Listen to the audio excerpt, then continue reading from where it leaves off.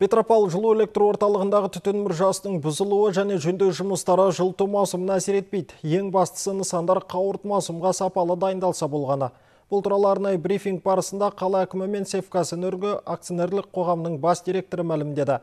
Бүгіндері қаладағы 1115 көп қабатты үйдің тек 430 ғана жуып шаю жұмыстарын жүргізіпті. Яғни маңызды науқанға баспанылардың тек 38 пайызы дайын облыс орталығындағы 84 білім беру мекемесінің 79-ы дайындық паспортын алған. Бұл масатқа жергілікті бюджеттен 7 миллион теңгеден астап қаражат бөлінген екен. Ал 16 денсаулық сақтау мекемесінің 12-сі жылыту маусымына сақадай сай.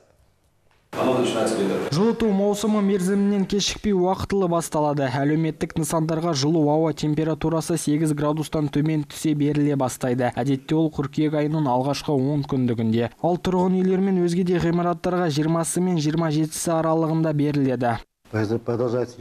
Петропавл нөмірі екінші жылу электр орталығында наурыз айында құлаған мұржаны демонтаждау жұмыстары қызу жүріп жатыр. Ол 20 қыркүйекке дейін жалғасады. Осы ретте айта кетейін орталық бұл мұржасыз ақ қаланы толық қуатында жылыта алады. Бұған дейін мұржаларға қатысты сараптама жүргізілген болатын. Қорытындысы дайын. Орталықтағы үшінші мұржаға қатысты ешқандай олқылық анықталған жоқ. Ал екінші мұржаның ішкі жөндеу жұмыстары аяқталды. Енді сыртқы жағын қалыпқа келтіруге кірісті қазан айының соңына дейін шаруа тындырылатын болады